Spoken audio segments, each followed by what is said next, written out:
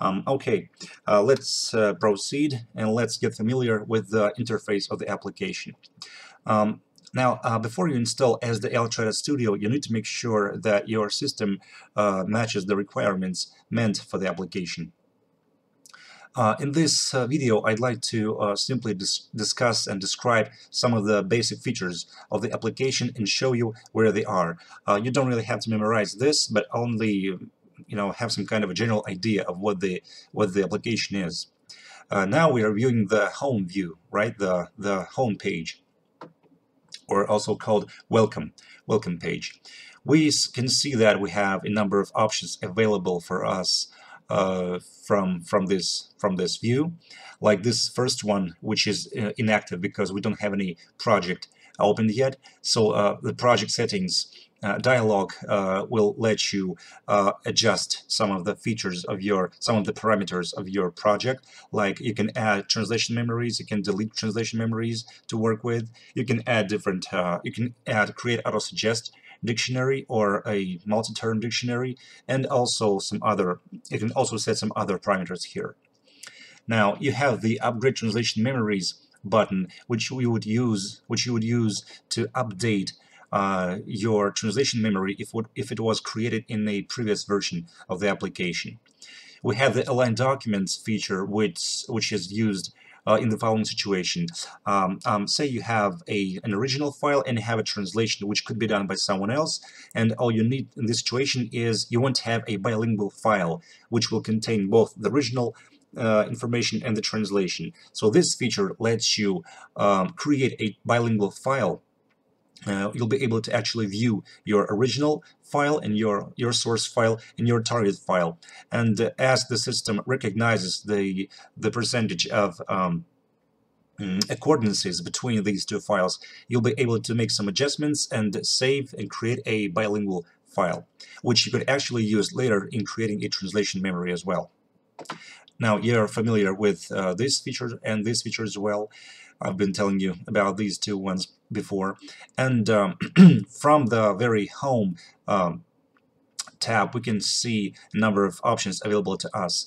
Uh, I'd name as the ones that we might use our new project, the new project feature, which you would use uh, to actually create a project, a translation project to, to work with.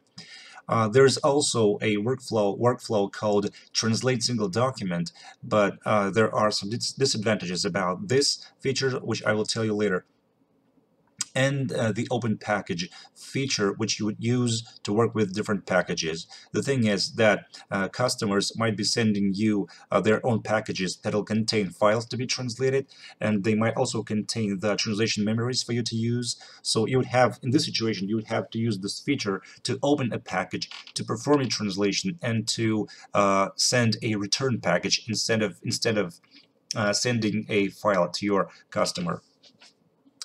Um, this is this is probably what I would like to limit uh, to within uh, this environment. I should also say that within my course I only focus on the features of the application that I use. Uh, so uh, my approach is not the only possible one in this situation and you can definitely uh, apply your own approach as you become familiar with the application and as you learn what it can do for you. Uh, now let's switch to the projects view. Uh, and I suggest uh, opening a, a project that I was doing before for us to be able to activate some of the options here and to get familiar with them. So all I do is press Control O. I have this open project uh, dialog and I go to my sample project folder and I open a sample project. Uh, this is what a project looks like here in this environment. It contains the location of your uh, your project and some additional information as well. Now you are familiar with the project settings dialog that what I was telling you that I was telling you about before. This is the very window where you make the adjustments. Like here in the language pairs um, area, you would uh, be able to uh, add translation memories. As you have, I have as you, as you can see, I have a translation memory added here. You'll be able to add term bases. There is none available at the moment to me and you'll be able to add the so-called auto-suggest dictionaries as I was telling you before. Uh, these dictionaries let us speed up the process of typing. We also have the features like new project to create one, uh, open project that I was just using, uh, batch tasks, uh, a number of different tasks that we can that we will be using during our course. Uh, if you want to um, view project files, you you will use this option, and uh, it'll uh, switch you to the files view, which we will be considering uh, next. You can remove your project from this list, selecting this remove from list feature.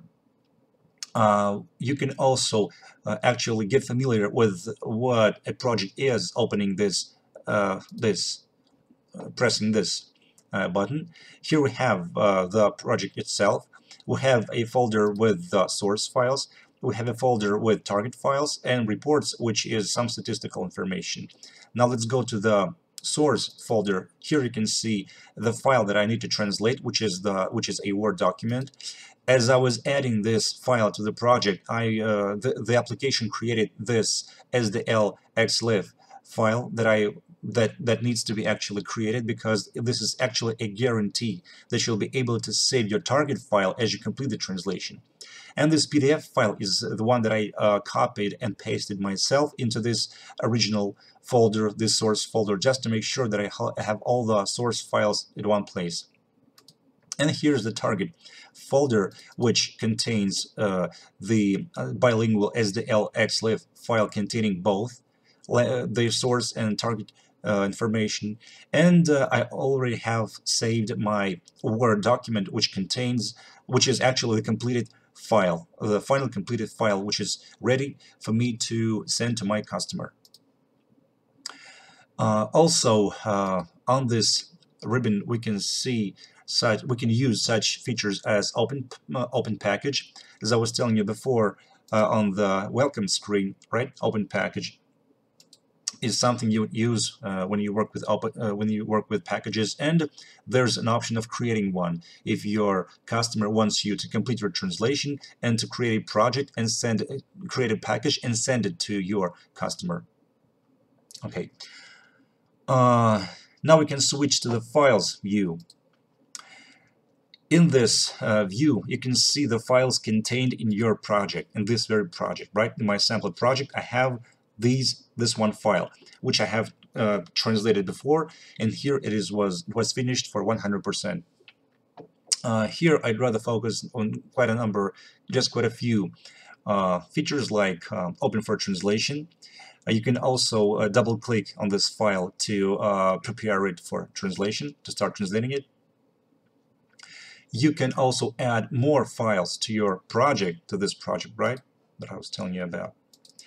Uh, and you might as well delete some of the, those files if you happen to need to do it. Now, uh, the reports view contains some analytical, some statistical information about the number of uh, matches uh, uh, determined by the system during the repetition, during sorry, during the preparation of the file, and there is also another statistics about the number of sources sorry, a number of segments that were unchanged, that were copy sourced and updated. All this will be considered later, so you don't really need to focus on this at the moment. Now, uh, the main, actually the main uh, view here is the editor view. Uh, we'll be doing our translations in the editor view. Uh, as you can see at the moment we don't have anything uh, active here yet so all we need to do is switch back to the files view and double click the file to be translated. Um, as you double click it you see that uh, I've been automatically switched to the editor view and here I have my source file. Every single uh, sentence contained my source contained in my source file and I you can see the the target right? The target area. As you can see I have translated it and at the bottom you can see 100% done and 0% remaining undone right? Uh, here we also have a number of options available to us in the in the ribbon interface like um, the formatting area for us to do different formatting as we need there's also this uh, the features called feature called quick, quick insert we can insert different text. This is also important in uh, in this kind of application in Trados Studio, and we will actually see how it works a bit later as we do the translation ourselves. Okay we have the concordance search option here available to us and we can do concordance search both using source uh, words from source and words from target area as well. We have the confirm option which is actually important because it lets us save a sentence and uh, the sentence will be actually confirmed and saved in the translation memory that was connected to our project there is also this feature called copy source to target. This is uh, particularly useful when you have some characters, uh, specific characters in your source, and you definitely need to preserve and save them in your target. So you would, in this situation, you would have to use this option to uh, copy your source and paste it into the target area. Uh, plus, uh, if there's a need for you to clear your target segment, you would use this clear target segment option. And uh, there's also there are also such options as go to for you to go to a specific segment you go need to go to, and a segment in Trados Studio is uh, these numbered elements, though they might be either individual words or uh, sentences. The segmentation process process is done by this application as you prepare a document for translation, and the preparation is done during the process of creating your project. And you have those features that you're probably familiar with from the Word, uh, from the Microsoft Word application, the ones like Find, this is Control F, and uh, Replace, this is Control G, in case you need something to replace in your document. And uh, yeah, this is probably the main what I was uh, what I need when I needed to focus on within the editor view. Uh, we also have this translation results uh, tab here. This is where uh, the program, the application will be displaying any matches found automatically by it. Like, see, I can uh, move my cursor here, and I will see that if a match was found, uh, saying who created this sentence uh, and when it was saved. Here's the window for concordance search, and uh, if you uh, if a system finds it necessary, it'll be informing you, sending you different comments and messages in these two uh, tabs okay? And you just need to get familiar with them and uh, perform some actions if they are required. And in this area this is the area that you would use uh, to um, connect a term base to your project created in uh, MultiTerm as I was telling you before. So in case the system finds any matches in your source uh, it'll be displaying you the matches here in this in this area in this window. And all you have to do as you translate is you'll be able to simply choose uh, which of the matches to be used in your translation or not to be used. And you also have the preview uh, feature here to be able to see what your document will look like uh, in as you complete your translation uh, so, uh, and the last view that we have here is the translation memories view. This is the one that you would use to make some manipulations with translation memories. You can create them, you can open them, you can upgrade them, and you can uh, import information into it or export from it. Uh, this is just up to you, up to the user. Plus you have those two other options that I was telling you before available as well. Now, uh, a number of basic options are available to you from the file menu as you can guess. You can create some new documents or can open different uh, elements like packages or project. This is up to you right? Uh, I should tell you that uh, in, just in order to uh, save some working space here I tend to uh, deactivate some of the elements so that I was able to have more space available as I work. Like here, I uh, switch off this uh, this navigation pane, I minimize it. As I minimize it, I, I, still have the icons for the main views available. So uh, I, I usually keep it like this. And uh, as to this ribbon interface, I also prefer to uh, memorize uh, keyboard shortcuts for the main uh, for the main commands, for the main um, actions. So I would most often also deactivate it by pressing Control F1 like this.